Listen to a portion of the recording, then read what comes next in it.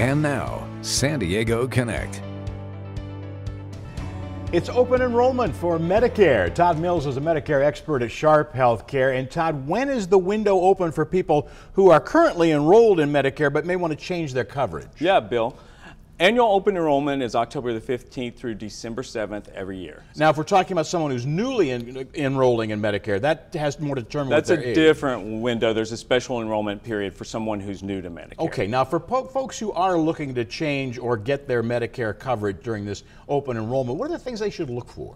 Well, that's a good question, Bill. There are lots of things. You should consider things like how many times you see a physician in a year. What are the out of pocket costs when you do that? Mm. What would it cost if you were admitted to a hospital? Do you have all the services covered that you may need, like vision, dental, hearing, those kind of things? Now, that's not included in the regular A and B Medicare, so you need a, a supplement or an advantage plan or something like that. And, and what are the kinds of things, like, let's say, for prescription drugs? Yes, that's a good point. Prescription drugs are also not covered in original Medicare. So you would need to look at a Part D drug plan.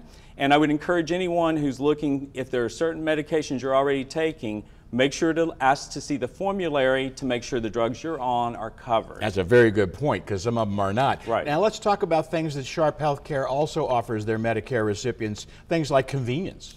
Oh, we're always looking to improve convenient access for patients. So some of the new things we've been rolling out are things like video and telephone visits with a physician. So you can do it on demand.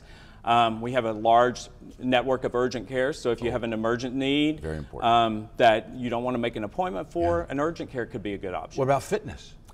Fitness plans are included in many of the Medicare Advantage plans, so That's that's great. something you may want to look at. It's definitely things. And, and of course, I love it that Sharp offers seminars for people who have questions, just like I've been asking yeah, you. yeah, yeah. You, great point. Even people who've been on Medicare for a long time still have questions. And how can you be expected to know what option's best for you if you don't fully understand the program? Good point. Very good point. Todd, so good talking to you. You can learn more and register for one of these seminars by calling 1-800-82-SHARP or go online to sharp.com slash Medicare. It's as easy as that.